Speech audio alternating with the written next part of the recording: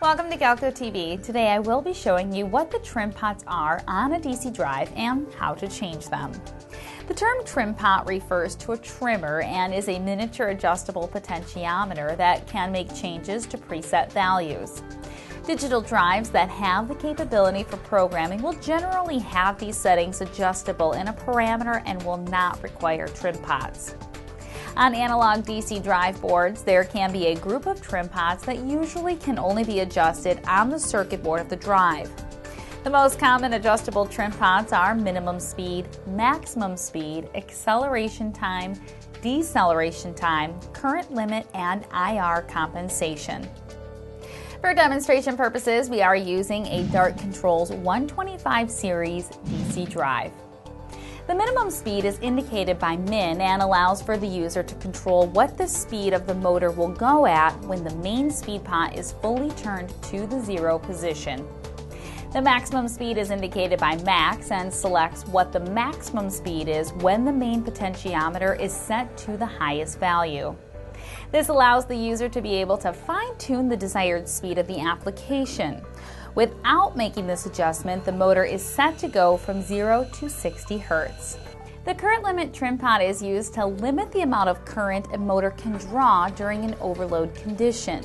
Once the motor begins to exceed the set current limit, the drive will reduce voltage being sent to the motor, which will slow it down and reduce the current being drawn. To adjust current limit, you must lock and load the motor shaft. The IR comp trim pot is used to send a voltage boost when the motor is under load. Typically, a motor under load will try to draw more current.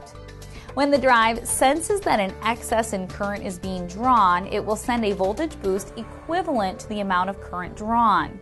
The IR comp is set for optimum motor regulation for the highest motor horsepower rated to the drive. If there is a need to adjust the IR comp, run the motor at half its maximum speed with no load. A handheld tachometer can verify if the motor is running at the half the rated speed. Then load the motor to its full load current rating. The motor will slow down due to the increased load. Adjust the IR comp trim pot until the motor returns to half its maximum speed. Though this drive does not feature acceleration and deceleration trim pots, most DC drives do, like this Minarik MM23000C series DC drive shown here. The accel trim pot is the amount of time that the motor takes to reach the set speed, as the decel trim pot is used to allow the drive to ramp down at a slower rate. This can ensure that the motor does not abruptly start or stop when given a run or stop command.